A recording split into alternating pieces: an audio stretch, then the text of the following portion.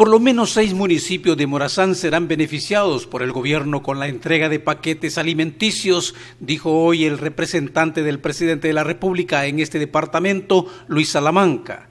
Sí, se ha este, establecido un, un área de cobertura de seis municipios, que en este caso son Corinto, Torola, San Fernando, Chilanga, Delicias de Concepción y San Simón. Esos, tres, esos seis municipios son los que se han cubierto ahorita, pero es una cantidad, digamos, bastante pequeña, solo son entre los seis municipios 125 paquetes alimenticios para cada municipio. En total, pues son 750 que son los que se han se han distribuido. 150 paquetes.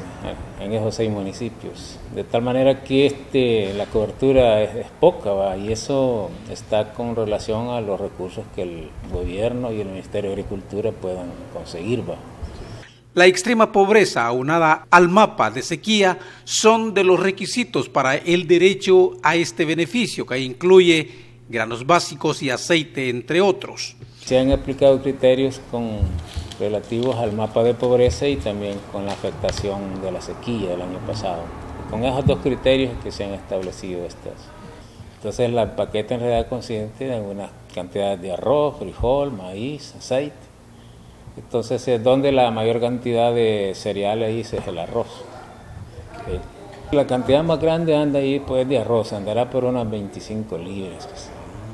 Este, de arroz, digo de maíz, habrán como unas 12 libras, tal vez, no estoy bien seguro. Y de frijol también unas 10 libras. Y una dotación de aceite. La entrega de este paquete se realizará aproximadamente en el mes de junio, señaló Salamanca. Se supone que una dotación como esa le va a durar a la gente dos meses, va pero hay que ver que la gente muchas veces es muy solidaria en el campo, no deja las cosas solo para la familia, sino que tiene parientes, amigos, por otro lado, que en los cuellos se redistribuyen ese. Quisiéramos tener una frecuencia de alimentos más, más, más cercana, ¿va? pero no es esa la lógica. La lógica es que el, el, agricultor sea apoyado para que produzca sus propios alimentos. Entonces, eh, eh, por ahí anda la, la, Y cuando eso no se logra, bueno, hay que ver cómo se apoya, ya sea por la cuestión climática, por las plagas, por las enfermedades, pero hay que apoyar. Los paquetes alimenticios es un programa del Ministerio de Agricultura y Ganadería MAG, en conjunto con Gomersal, apuntó el funcionario. Jorge Álvarez, Sol TV Noticias.